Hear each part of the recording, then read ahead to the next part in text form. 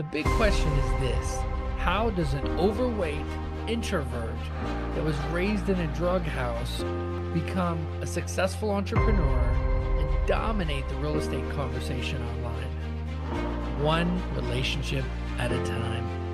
You were listening to The Mighty Mike Show. What's up, you guys? Welcome to another episode of the Mighty Agent Podcast. I'm also streaming live on YouTube, LinkedIn, Facebook, Twitter, you name it. Uh, maybe except for TikTok, which I'll start doing here as soon as I get to a thousand followers. You can follow me on all social media channels at Mighty Mike Reid. Okay, guys, listen, I'm here in the beautiful New Mexico. I got this great view. I wish you guys could see it of the mountain. It's got snow. It snowed this morning.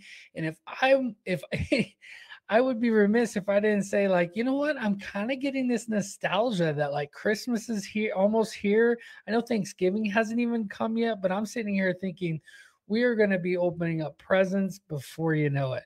So super excited. The weather, I'm not used to the cold. I got to admit, being in Florida the last few years, but I'm sitting here um, looking out here at this beautiful side of all this snow, and I'm just, it's pretty cool.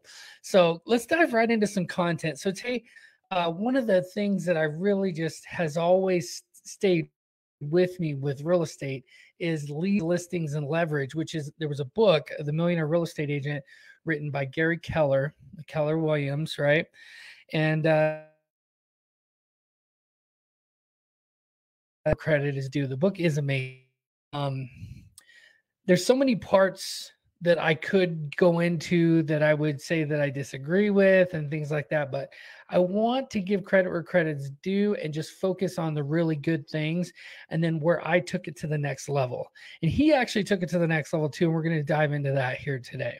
So if you're listening to this on the podcast, please go leave us a review, leave me a review and let me know how how I'm doing, what kind of content you'd love to hear that you're not hearing already.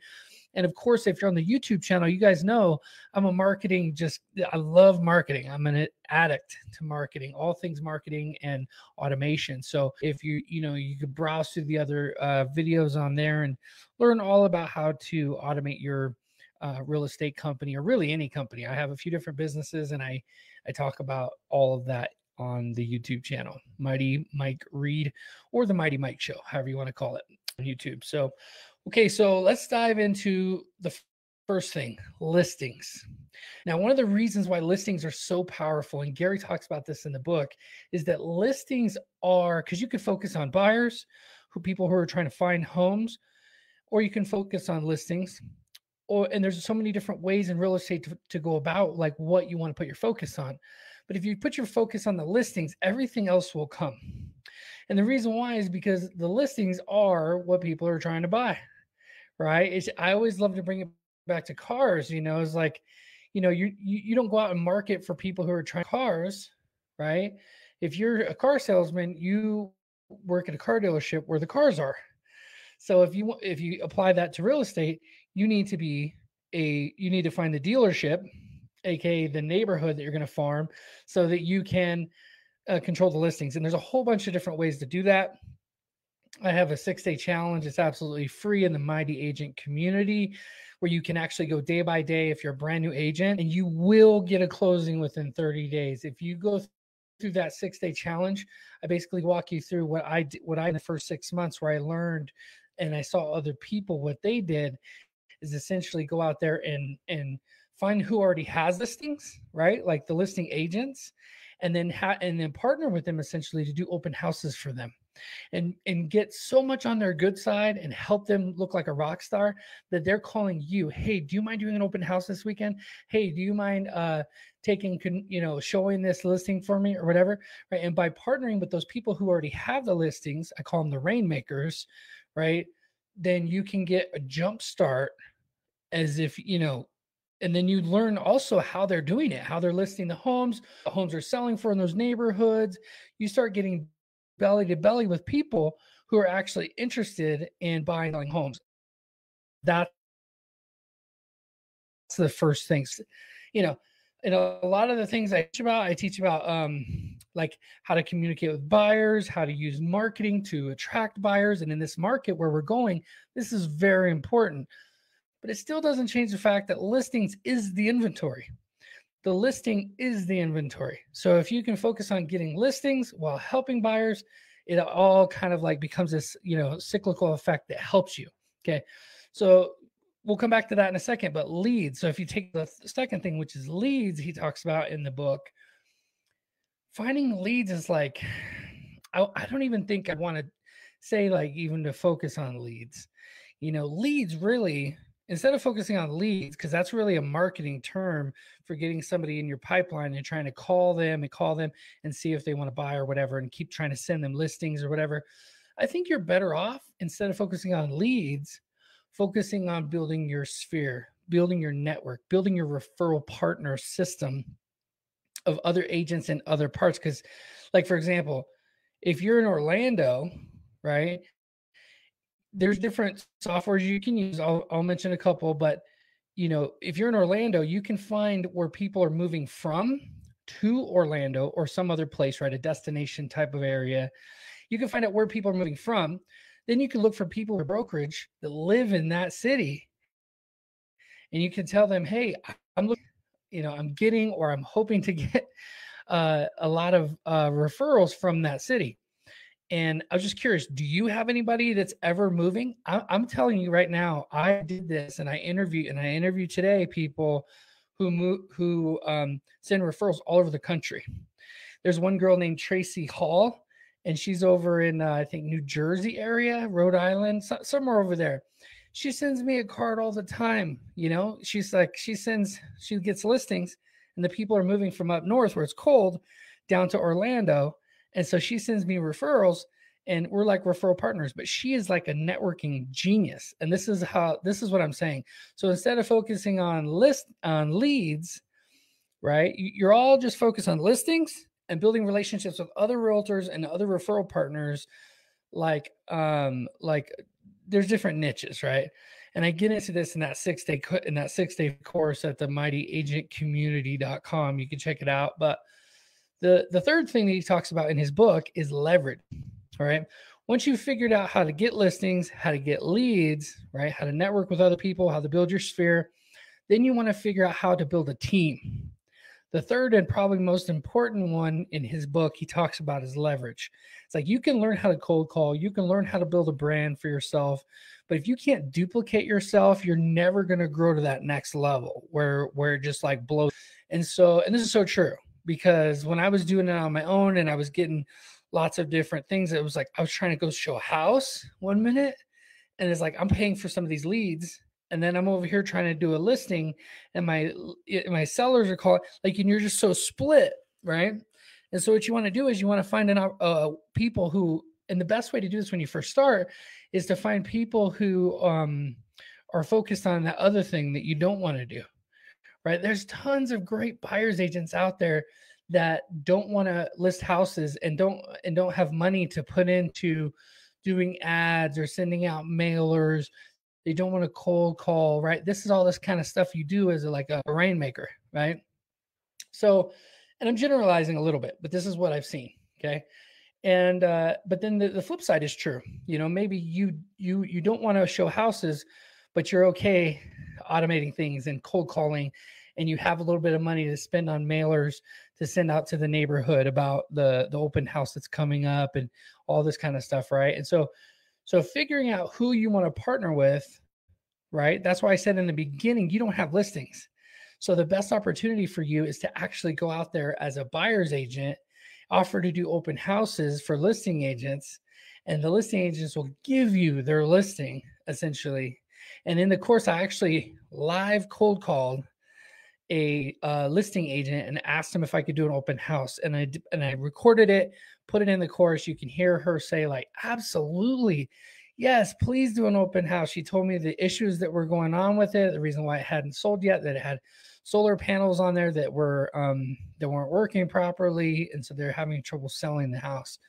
Which, if you know about solar panels and you understand, you know how the different ways to get those panels paid off, you can actually just uh, negotiate a credit at close. So you see what I'm saying? Like the more knowledge you have about real estate and about transactions and about how to solve problems, you can actually make it work.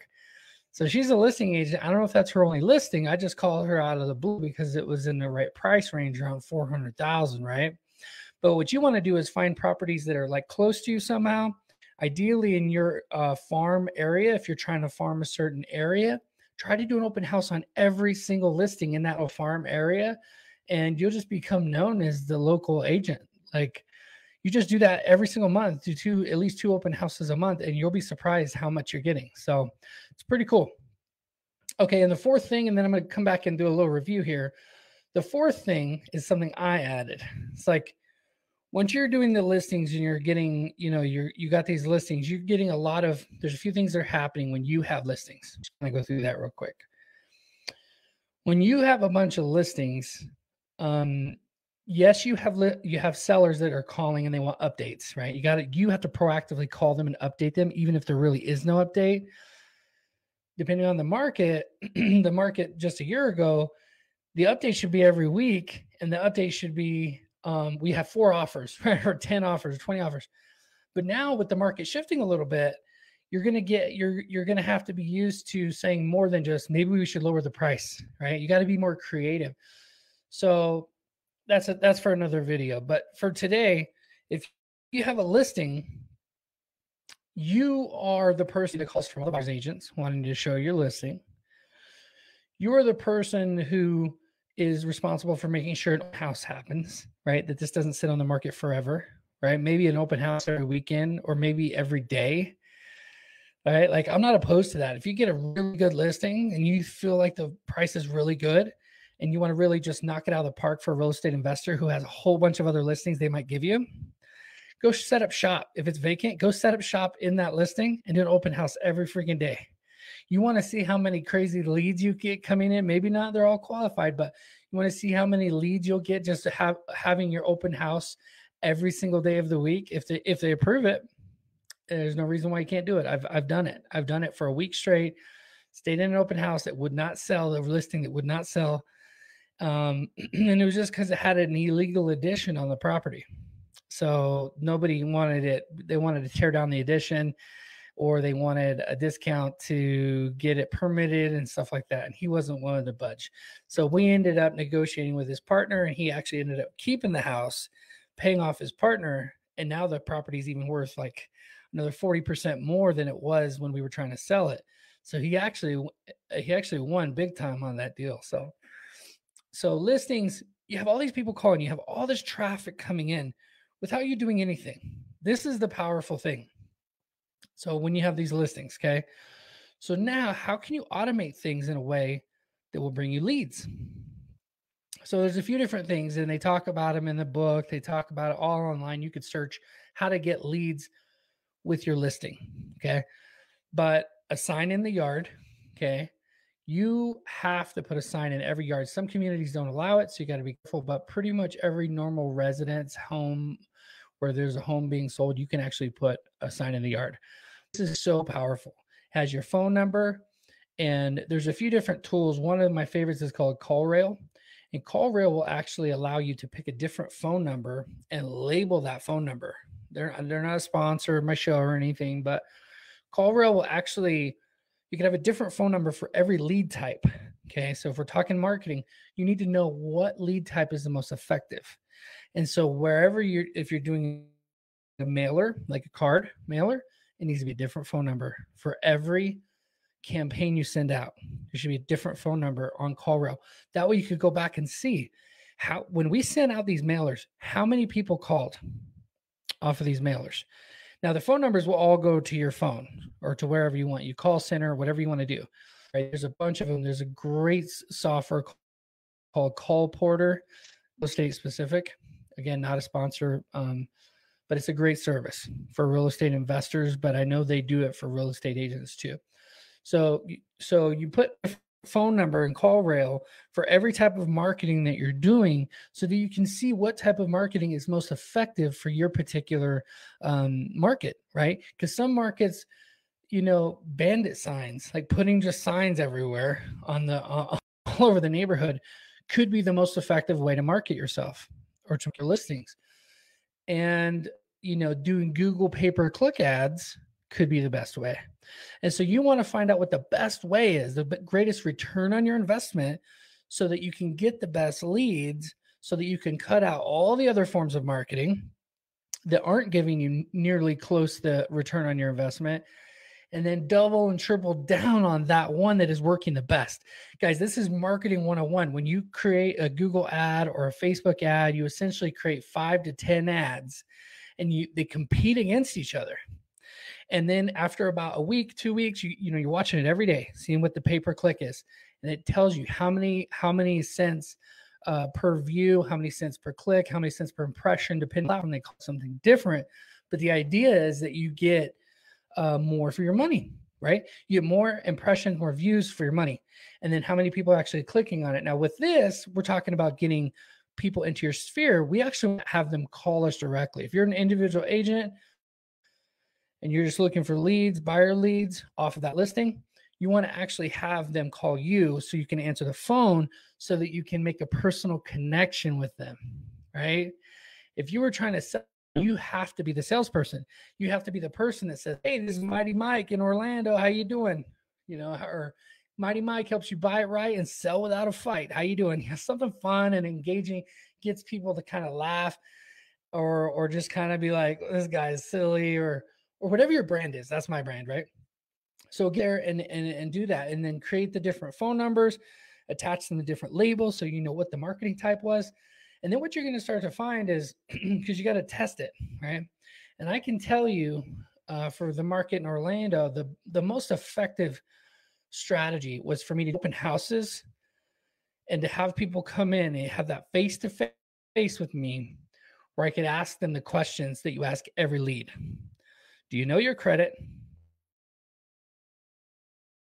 Money for a down payment, right?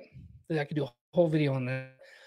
Those three questions questions are the most important ones, and you and you ask them just like that because you don't want to say what's your credit. You don't want to get in trouble for different different laws and stuff that you know. I mean, some people can't ask that, but like as a realtor, you want to be very careful. You know, stay in your lane, right?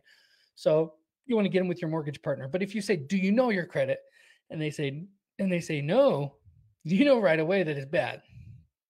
Nine times out of ten, they say they don't know their credit, it's bad.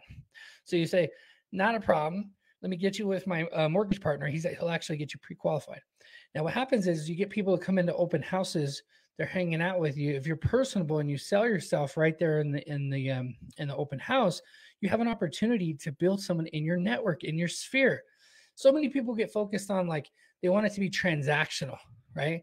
They want it to be like, boom, you hit my link you came to my page you uh you got a house i'm sending you houses i'm spamming you houses that you don't even want right so that you'll hopefully put an offer in on one and that will work. You it will work you know you know two out of ten will go ahead and submit an offer because that's why they initially found you because they were searching for homes right? But two out of 10 is not a good not a good average for what we're talking about you know what you want to do is you want to create relationships with people so that when they call you, you don't say, "Hey, you ready to buy a house?" You say, "Oh, hey, how's it going? Long time no see. How you been?" Right? It's a relationship. Real estate is a relationship business. And I'm gonna be honest with you guys. Before I got into real estate, all the businesses I had been in, I did not see them as re- relationship businesses.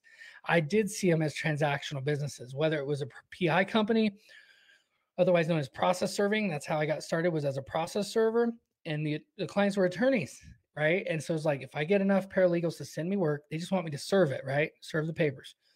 Uh, the next one was marketing. They, they were relationships, but they just wanted they wanted more business. And if they didn't get more business, they were not happy. So it was not really didn't feel like a relationship business.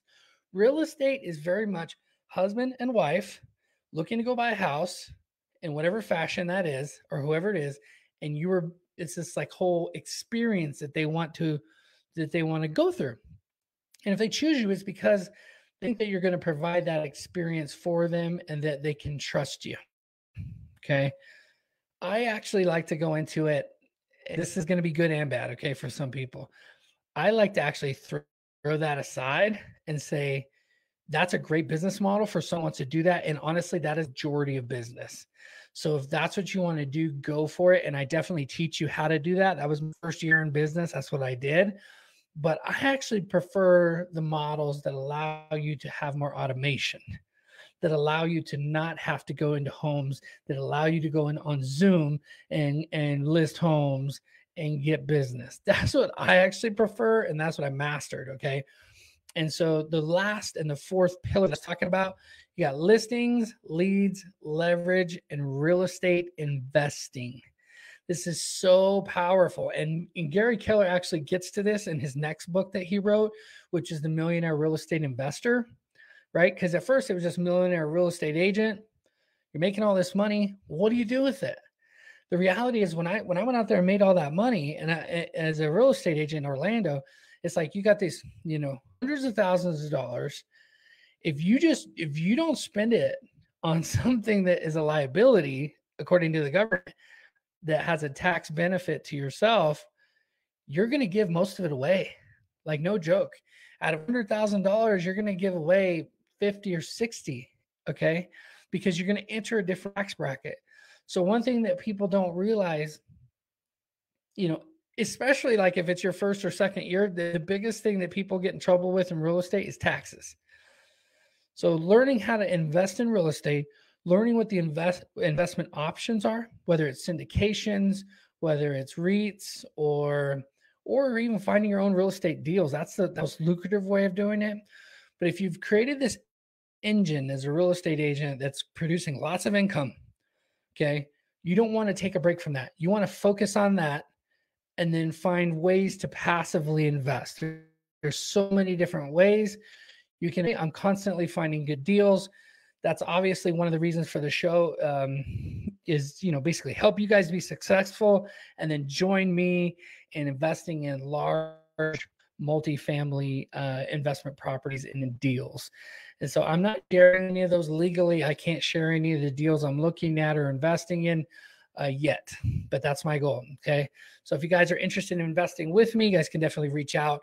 Um, but it would definitely be like a partnership kind of deal until we get the approval to have um, investors on board and get all legal and legit with that. So, guys, this is it listings, leads, leverage, and real estate investing. If you can do that, I mean, and you set up systems in place, I mean, you can just live a free life. You know, you can you can be free to I mean, I'm here in New Mexico right now. I got negotiating deals from afar, right? I got people who are helping me over there. I have a team over there. I have a team here. We're launching a new solar division to the company that has just taken off. And so the the world is your oyster.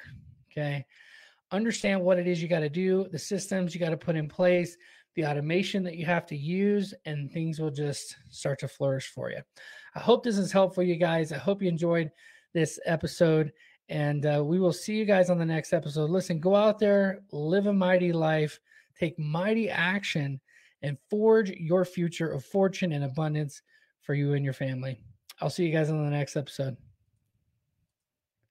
Mighty Nation, I hope you guys enjoyed that episode. I put my heart and soul into creating this show and specifically covering topics that I think are going to help you move the needle forward in your business and in your life, and help you forge a future of fortune and abundance for you and your family, and be able to go out there and just take action on all the wonderful things and dreams and hopes and things that you want to accomplish.